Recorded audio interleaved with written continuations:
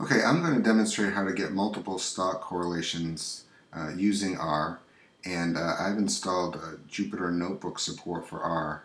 If you want to know how to do that, I have a short video that explains it uh, that you can find on my channel.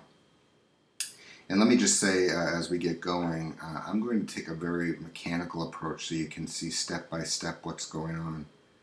To do this more efficiently, you'd probably write a function or a, or a more cohesive script. Alright, so uh, the first thing we're going to need to do as we get going is to uh, install the QuantMod library. And uh, this is a package that allows us to, among other things, uh, download data from uh, several uh, different sources. All right, so it's already installed here. All right, but this is the this is the line of code you would need. All right, without the without the pound sign here. All right, and to execute a cell in Jupyter uh, you hold the shift key and press enter. All right or you can can click the the run cell button up in the, the toolbar. All right so once you get uh, QuantMod installed you're going to need to load it. All right so there's the command for doing that. Okay and so we can see this message tells us it was loaded. All right and once we've got it loaded we can go ahead and get some data. I'm going to get data for uh, Amazon and I'm going to use the QuantMod get symbols function which really only needs a stock symbol alright but the default data source is Yahoo and they've recently changed their API so it's not working. I'm going to get it from Google alright I'm also going to specify um, to only look back about a year here Alright, and I also need to set this auto assign to false. Alright, yeah, the first time you run it, you're probably going to get this warning message. And uh, basically it says, well, the current default on auto assign is true, and they're going to be changing that so you won't have to in the future uh, set it to false. Okay. All right, so even though we're only using uh, QuantMod to download data, it has lots of functionality and it's very well documented. If you if you visit their website, you can download the manual. Um, I'm just going to show you one function, this chart series function, to give you an idea. And uh, again, all it really needs is the is the data you want to chart.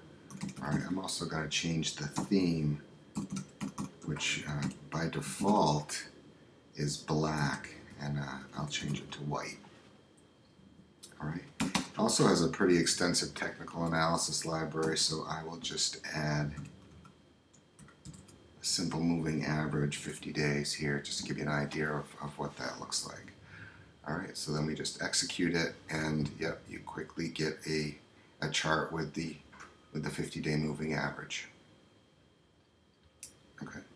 All right, so getting back to our stock correlations, I'm going to go ahead and uh, download some more data here.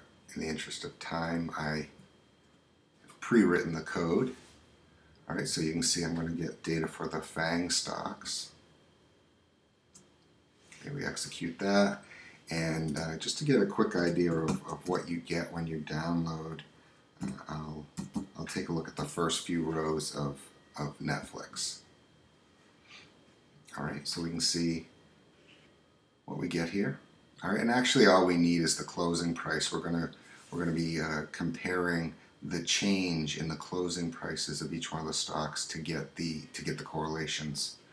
All right, so again, I've sort of pre-written the code to do that. Set a new variable, call it stocks.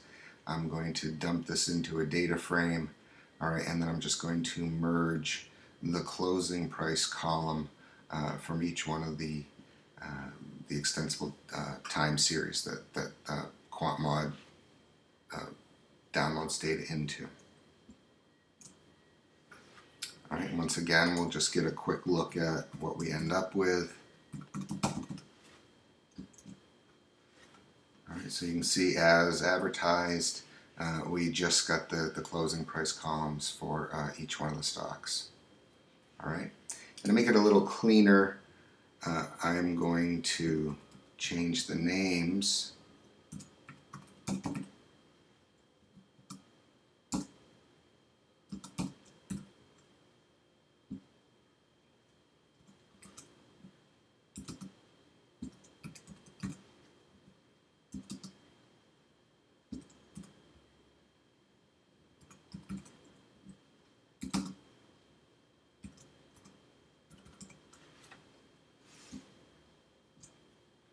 Okay, so uh, now our data frame has, uh, instead of this sort of weird column name, uh, it just it just has the stocks ticker. All right.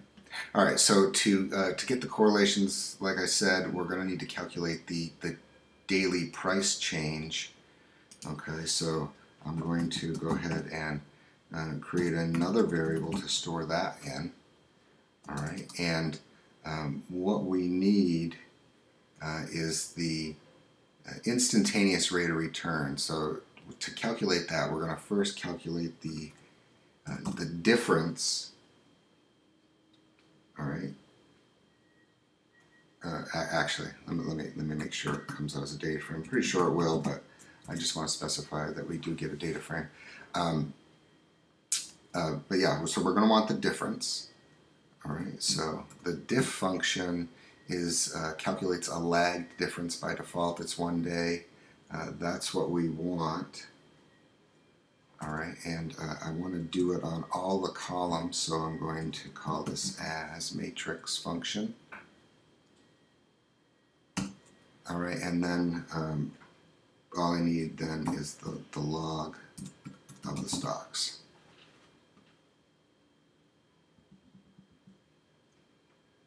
Okay.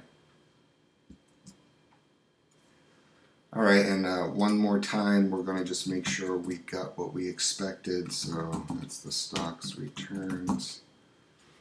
Oops, gotta spell it right.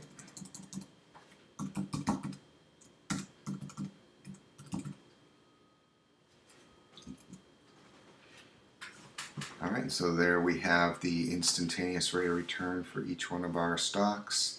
And uh, this allows us to compare them directly and to, uh, to get the correlations. All right, to do that, it's pretty straightforward. We just call the cor function on the stocks returns. All right, and we end up with a little table that we can analyze. All right, and we can see that you know Facebook is pretty strongly correlated with both Amazon and Google. Uh, it's it's more weakly correlated with Netflix, and actually as you look down the Netflix column you can see that well it's, it's pretty weakly correlated uh, with everything there. Alright, if you want to get a look at that graphically we just call the plot function on the stocks returns data. Alright, and it gives us a scatter matrix of uh, each stock pair and just to give you an idea how to read this uh, this is uh, you know, Facebook on the Y and Amazon on the X. Okay, so as we look across, it's it's Facebook on the on the Y and each of the other stocks on the X. All right, and uh, down here uh, it, it's flipped around, so we have Amazon on the Y and Facebook on the X. Okay, so uh, I hope that helps with stock correlations in R.